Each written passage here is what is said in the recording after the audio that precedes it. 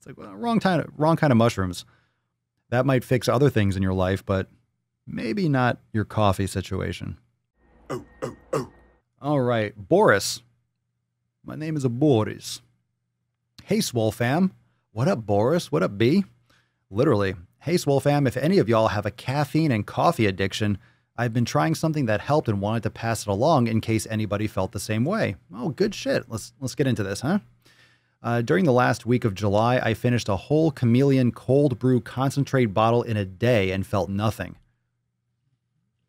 I don't know what that is, but it sounds like a lot of. Uh, I take it that's a shitload of coffee. A concentrate bottle? Holy shit.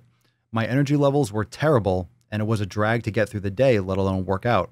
I decided to stop cold turkey for two weeks, and during that time, I coincidentally started supplementing with mushrooms, e.g., lion's mane and cordyceps.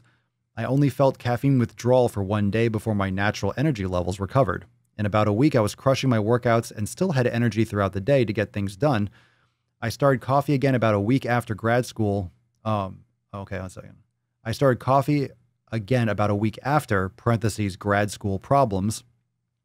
Uh, this and my dependence hasn't been as bad, but last week I took another coffee break and had bad withdrawal.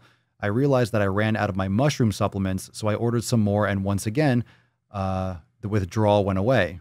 Now, this is purely anecdotal, and you should consult your physician about starting supplements you aren't sure about. But I thought this was amazing, and now I only use coffee on days I really need it or didn't sleep well, and I feel fine the rest of the time using the mushrooms. If anybody is thinking of quitting or cutting down on caffeine, maybe give this a shot. FYI, I took real mushroom cordyceps and lion's mane from Amazon, as well as Genius Mushroom Mix from Amazon. Well, thank you. Thank you for the comment. Appreciate it. I take mushroom supplements. I mix it in with my bulletproof coffee. I like it. I like it. Why not? But I, I take it with my coffee. I don't take. I take it with my coffee. I don't take it separately. So, do, do any of you uh, mix mushrooms in with your coffee and stuff? We've talked about that before, but um, I like mushroom supplements, and there's a lot of good ones with tons of great reviews on Amazon. I think I have some of those in my Amazon store. I haven't updated the Amazon store in a minute, but I need to. But there's some stuff in there. That's interesting. That's interesting. I mean, mushrooms are really great for energy and they're great for cognition. And there's been a lot of great research on it. And a lot of people that I know take it. A lot of you I know take it, but sounds like some good shit. I never thought, I never, I never thought about that in conjunction. But if you if you get good sleep, you don't really need coffee. Uh, right now, I'm drinking tea. I have some magnesium in this. Um, I have some magnesium in here because I like something hot. I like something hot. Um, and this is like some ginger, caffeine-free ginger tea with with some uh, natural calm, some magnesium. So pretty good.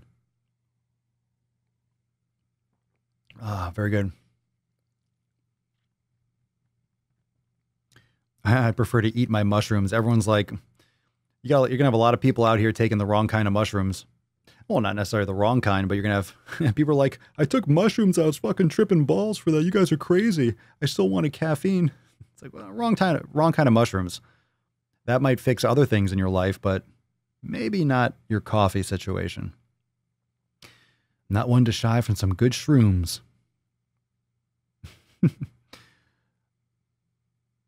uh, let's see.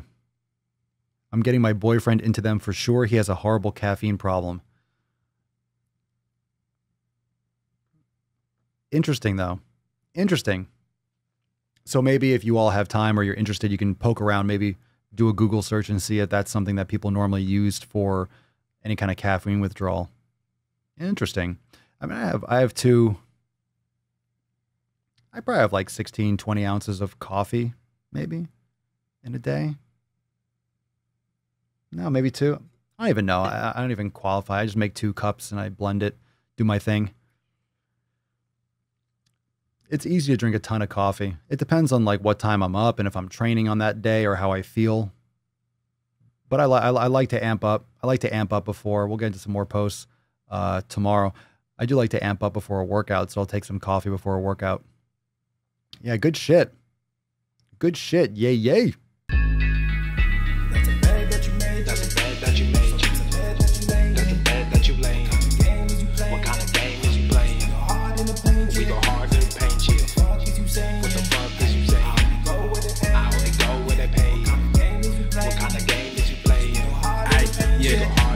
My shit is relevant. On topic, my melanin is popping. I'm taking skeletons on closets and making new deposits. I'm in my element. No ollies, you children popping.